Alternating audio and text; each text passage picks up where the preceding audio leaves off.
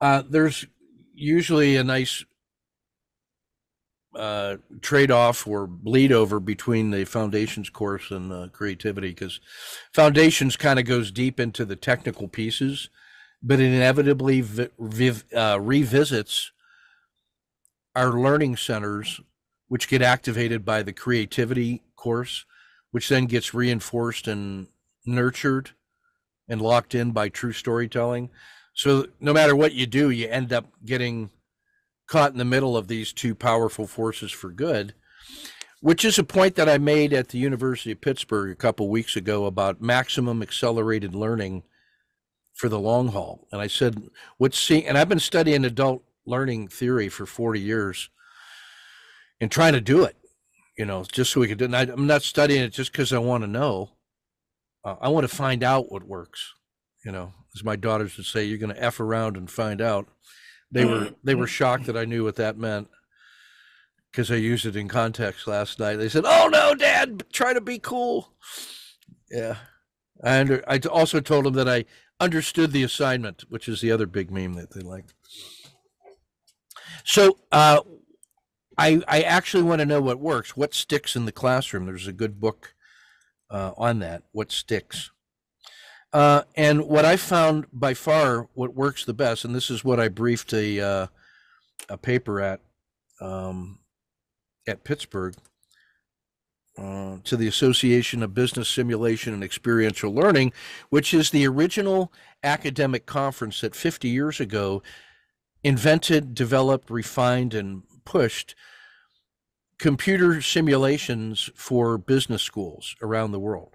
That they were trying to teach people that their policies and choices have an impact. It has a payoff, and that you can predict what that is through the use of computer modeling and financial economics. So these guys invented that whole field and over 50 years have turned that into a thing that is just you wouldn't take a course without it.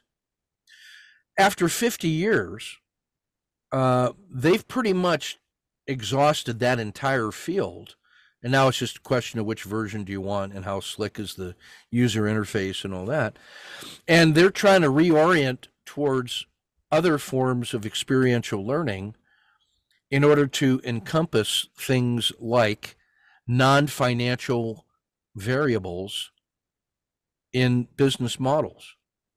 Because not every investment decision or business decision that gets made is strictly on the basis of um, buying and selling their raw materials and products. They have to take into account uh, corporate good citizenship, um, you know, impact on the economy, uh, forex market impacts, war and peace, stakeholder analysis, um, taking care of the community, all that stuff. So we're trying to figure out how to do models. And one of the things that I was teaching them about was that our models have to account for these other non-financial members. So how do you learn about that fast? I said, here's what seems to work the fastest and the longest and the bestest in adult learning. It is the combination of three bodies of knowledge in one learning environment. The first and easiest body of knowledge is the thing that you're trying to learn. If I'm trying to be a mason, I have to learn how to stack bricks. And and make the glue, the, the mud, and how to hold the spatula. It's not a spatula, but it looks like one.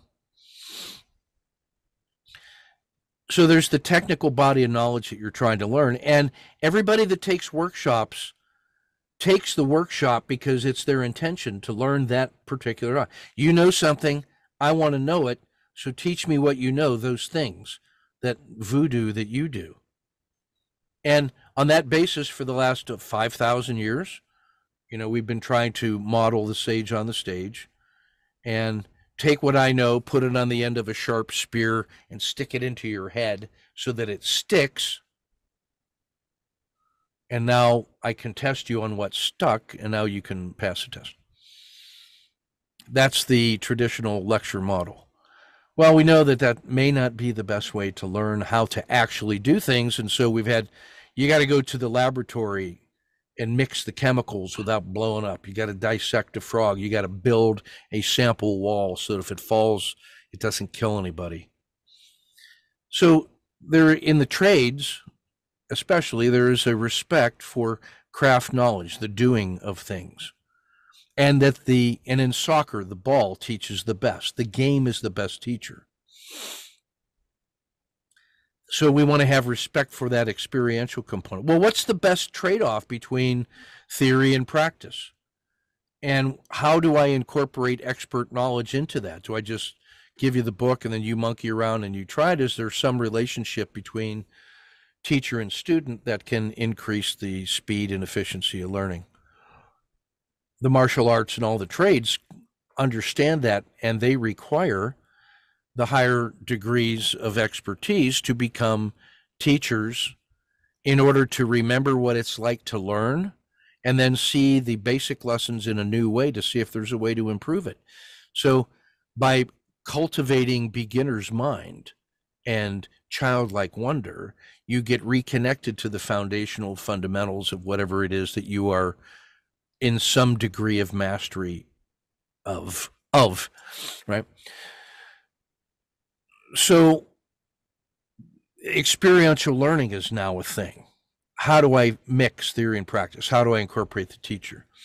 Well, the other two bodies of knowledge then that I add to this triad of maximum sustainable rate of learning or accelerated learning is first the story science of Angus Fletcher for creativity, which is like going to the gym to build muscles on the machine and lifting weights to increase your fitness, increase your strength, your capacity to do work later on the things that you're actually wanting to work on. And that means like I may want to lift a bag of feed into the back of my truck. So when I go into the gym, I do the deadlift or the clean and jerk or push the thing up a inclined plane. Push the sled, flip the tire. And what I'm doing is I'm doing some efficient, effective exercise that builds my capacity to then go do the work that I want to do. Like I can't bring cows into the gym and lift cows. I got to do so. There may be ways that we can use uh, training exercises in order to build the capacity for the thing that we're trying to train for. So it turns out that to improve the creativity, the energy that comes with it, and the perspectives that come from creativity, that the use of short stories and reflective learning exercises in different domains than the one you're working in turns out to be the fastest way and the bestest way that we found so far to raise your level of creativity as measured by experts in the field.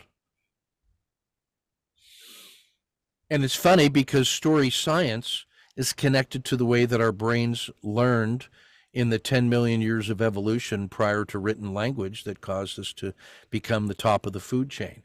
That the ability to express what we had learned on the hunt or on the search, we could now communicate in a story and other people could grasp it quickly because we had learned to become tribal and to have empathy. And that oxytocin, which is the chemical that is released when we make social connections, is a very pleasurable experience. And that makes the lessons that are learned when we're being empathetic and telling stories to lock in and become very memorable. And thus the wisdom of the tribe was preserved. It's why the bond between mothers and babies is so strong. And but it also is the foundation of our social environment. The net effect of modern living and in the extreme case COVID breaks those normal physical, biological, social bonds and makes it harder to feel connected, which is why kids are failing to read at grade level across America in a epidemic proportions. It's the least surprising result of all. That's what happens when you shut it down.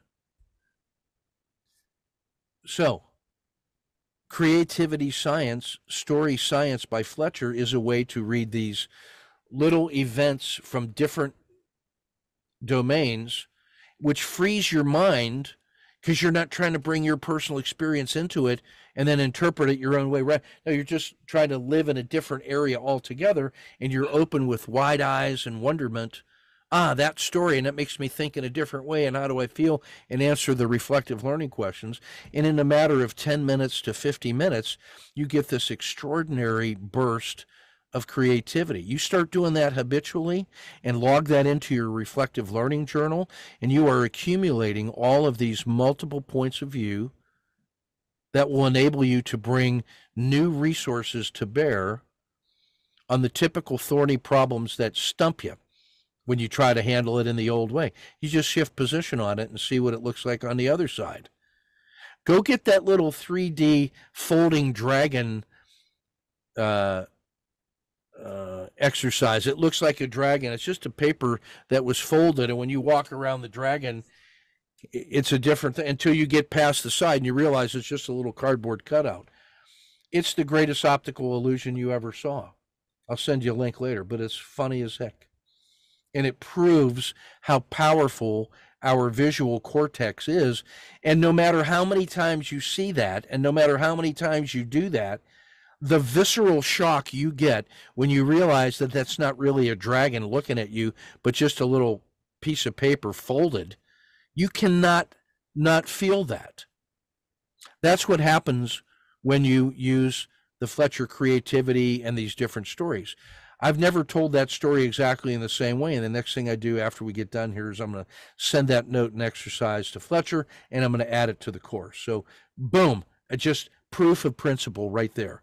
Storytelling leads to aha moments that become emotionally connected. I'll never forget that story of the time I remembered the dragon folding the blah, blah, blah. So that's the second body of knowledge. Remember, there were three the rule of threes.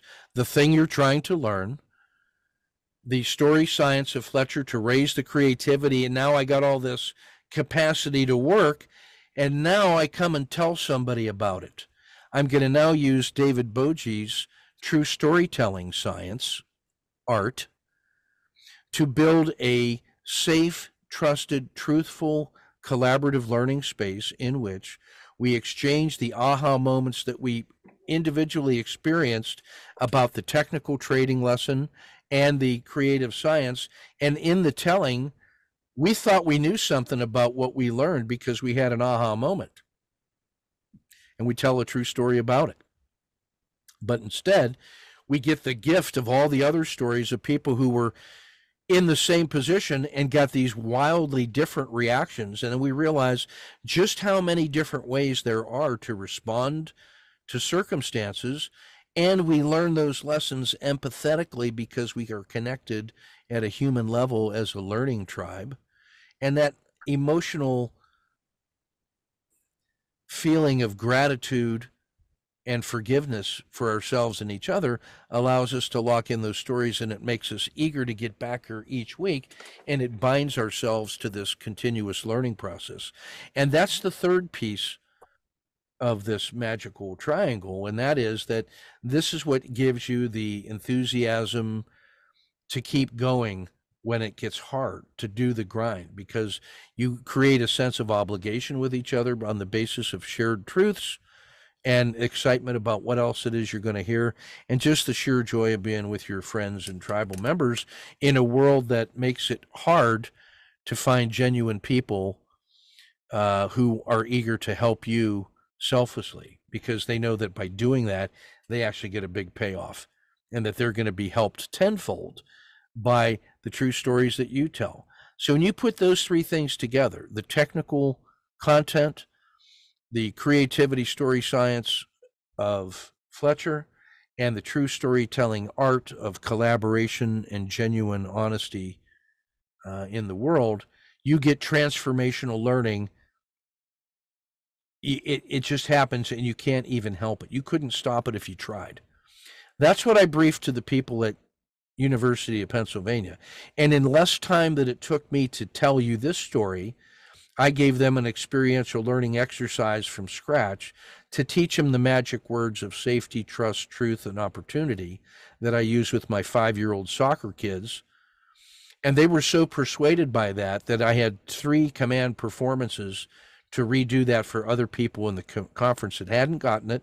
And they decided to move out for the next 50 years on the basis of that formula for transformation because they are recognizing that the day of the computer simulation for financial modeling is over and it becomes all of these other things that they have to figure out how to do in order to maximize experiential learning with their models and their teaching and their in class and out of class behavior.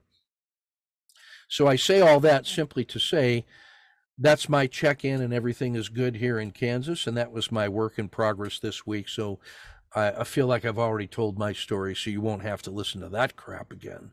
And, uh, and so, because my story is over, I'm going to hit the tones and say aho, and I'm going to go around and invite you to just introduce yourself in 10 seconds. How are things going? Then we'll go into the story circle and then uh, exchange the true stories in the usual way. So I'm just going to hit the abbreviated tone to announce that uh, Ernie, you're you're on deck.